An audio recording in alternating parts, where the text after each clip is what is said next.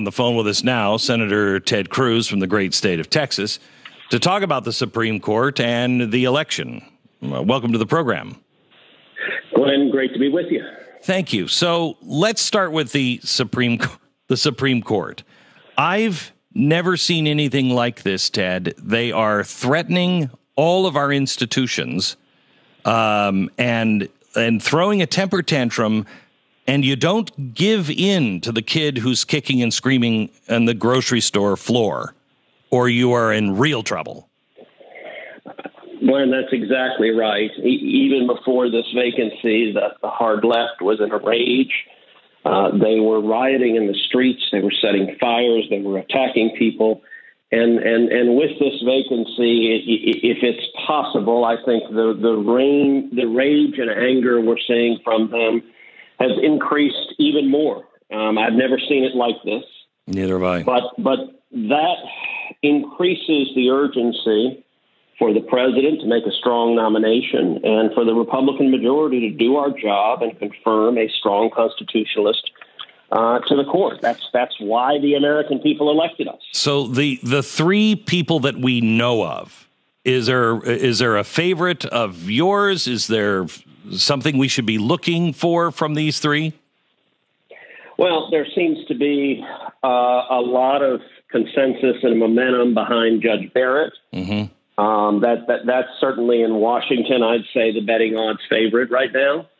Um, and you know, I, I fully expect if she's the nominee that we will see Democrats reprise the shameful treatment of her that that they did when she was nominated to the Court of Appeals, when went after her and went after her faith. Uh, you'll recall Senator oh, yeah. Feinstein saying that the dogma is strong with this one, and and making the case essentially that people of faith are, are unfit to serve as a judge or in public office. And and I got to say that was uh, it was a dark day for the Senate, but I fear we're going to see much worse in the coming weeks uh, as they go after which, whichever nominee the president puts forward.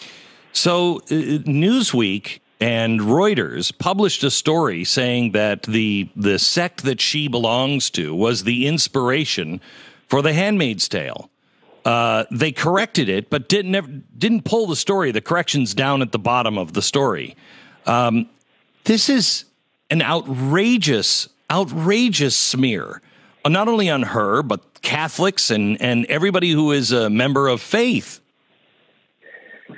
Well, and and we're seeing more and more. Today's Democratic Party has deep contempt for people of faith, whether Catholics or evangelicals or Mormons or, or anyone who, or uh, Orthodox Jews, anyone who takes their faith seriously. It's it's fine in today's Democratic Party if it's sort of like a social club membership, if it's just uh, a, um, a something that that you don't actually believe, that doesn't influence your life, that doesn't mean much to you. That's okay. But if you actually have the temerity to believe the God stuff, uh, they get very, very upset in their view. That is not an acceptable view in the in the public discourse. Uh, Ted, tell me if I'm right on this. The way I read the founding documents, no one should be afraid of a Supreme Court justice being appointed if we were doing it the way we're supposed to do. Neither side, because the justices should surprise us sometimes, should be like, huh, okay, well, uh, they read it that way, but they, we, we, we shouldn't be in lockstep because of uh, Republican or Democrat, right? They're just supposed to interpret, right. not make law. the, the viewed the court and the judiciary as the least dangerous branch was the phrase they used because the court can neither make law nor enforce it. That, that all the court can do is interpret, adjudicate cases and controversies. And, and for a long time, the court largely stayed within that lane. Uh, and it really started in the 1960s, where you had um, where, where you had the activist left who couldn't convince the voters to support their radical policy agenda. So they decided instead to just try to get five unelected judges, and, and that remains uh, their their preferred route because the voters still don't like radical leftist ideas, uh, and but elite lawyers in robes who've declared themselves philosopher kings, uh, they are quite quite open to abusing their power and dictating far left ideas. When we're looking at these uh, justices, and I know you have been instrumental in the federal judges, and I mean, you have done amazing work behind the scenes that not enough people know about um, to make sure that our judges are the right judges. When you look at these, um, do you do you see any of them having a shot of turning out to be Justice Roberts? yes. Um, look, the, the, the President Trump's nominees have been overall very strong. Uh, they have been He's nominated, and the Senate has confirmed over 200 new federal judges. And the overall caliber of them is stronger, is more conservative, is more constitutionalist than, than any Republican in our lifetime. Uh, that being said, um, I was concerned when Justice Kavanaugh was nominated. Yeah. Urged the president not to do so. Um, I believe the right way to, to, to make nominations. You know, Democrats bat nearly a thousand. Almost every one of their nominees does exactly what right. the left wants.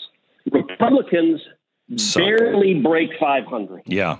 And here's the pattern, Glenn. Here's what we need to look for.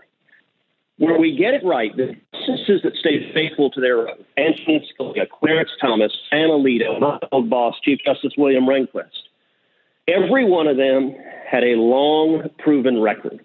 They had defended constitutionalist positions, they had defended conservative principles, and they had paid a price. They'd been excoriated in the press. And that is the pattern that has worked. The pattern that hasn't worked is where someone uh, is is a stealth nominee. Someone doesn't have a record, but some Republicans think they're being clever, and they think, "Wink, wink, nod, nod, trust me." That always works as a disaster. So with President Trump, for both of the vacancies, the person I urged him to nominate was Senator Mike Lee. Uh, mm. The reason I think Mike is the best nominee because I am certain, I am 100% that Mike would spend 50 years being faithful to the Constitution and honoring his oath. And I know that because I've seen him get punched in the face repeatedly, figuratively, yep. Yep. for doing exactly that. And, and it's that steadfastness we should be looking for uh, and, and and I hope that's that's what we'll get. It's funny because talking to Mike, that's what he says about you. Uh, you know, he's. I think that's maybe maybe maybe you guys got to get on the same page and pick one because uh, I think you're both kind of recommending the other one uh, for the for the same exact reason.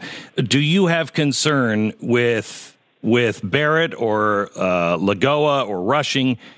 At all that they don't have the record. I don't care about being conservative. I care about being a constitutionalist, a strict, read yeah. it like it was written constitutionalist. Um, I hope that proves the case uh, with all three of them. I would prefer longer and stronger record. I would prefer more years to look to. Um, and, and that's for both Gorsuch and Kavanaugh. Uh, for both of those seats, I urge the president to appoint Mike Lee. Um, as you know, both Mike and I are on President Trump's short list yep. of, of, nominees. I, I, have told the president uh, that, that, that I don't want the job. That, that that that I feel there is a greater need in the political arena. That there are a number of good principled people that want to serve on the bench, and and and if I were a federal judge, I'd stay out of political fights. I'd stay out of policy fights. I'd honor my oath. I don't want to stay out of those the political fights. And, right.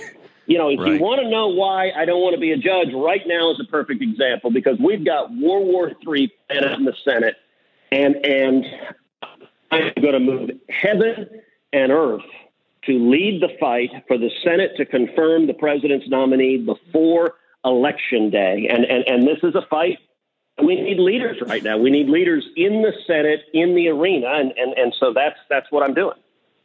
So I know you'll support. I'm going to try. I'm going to try one more time, and feel free just to say "Shut up, Glenn."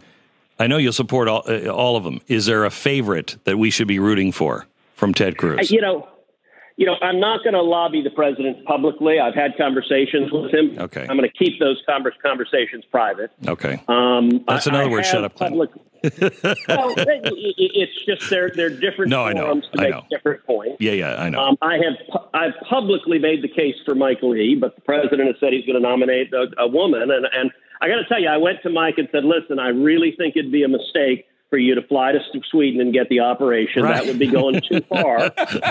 um, I don't. I don't think it's gone too far. um, so, so Ted, let me just switch topics with uh, one thing. Um, Mark Zuckerberg came out the other day and said that um, uh, they are going to be looking at anything that is causing or inflaming the flames of a, an election that might be taking too long, or there's there's worry about the count or the fairness, and they will take aggressive action to shut down anybody who's inflaming the situation. Well, I got to believe that that would be and anyone and everyone on the right. Are, are you in touch with what they're doing? Uh, I am, and and big tech and the censorship of Silicon Valley, I believe, is the single greatest threat to free speech we have in this country, and it's the greatest threat to democracy. And as bad as big tech has been, censoring and silencing conservative libertarians, they're getting worse. The Democratic Party got mad at them. You know, if you remember a couple of years ago, Mark Zuckerberg testified in Congress. Yep. And and just about every senator was mad at him, but they were mad for different reasons. And what the Democratic senators were mad at is they essentially said, how the heck did you let Donald Trump win? Mm-hmm. What, like, how could you possibly let these crazies communicate? Yes. And big tech heard that message, and I believe their shared mission is to silence you, to silence me, to silence your listeners, everyone listening to this show. Big tech wants your views stifled, and they don't want you to be able to hear anything. The, the, the, the, sort of big tech monopoly. Imagine being trapped for the rest of your life in the CNN newsroom. And, and Glenn, you don't have to imagine that. No, I've been there. It's a pit exactly of despair. Yes. But big tech wants that to be the world. The only place you can get information is what is sanitized and processed and, and allowed for the masses to hear and believe. And, and I think it is profoundly dangerous. And, and there's still, look, it's actually another example of why I want to be in the political arena and not on the bench because we need leaders in the Senate and, and, and in government to take this on and protect the Bill of Rights. Ted Cruz as always, good to have you on, sir. Thank you for the uh, good fight.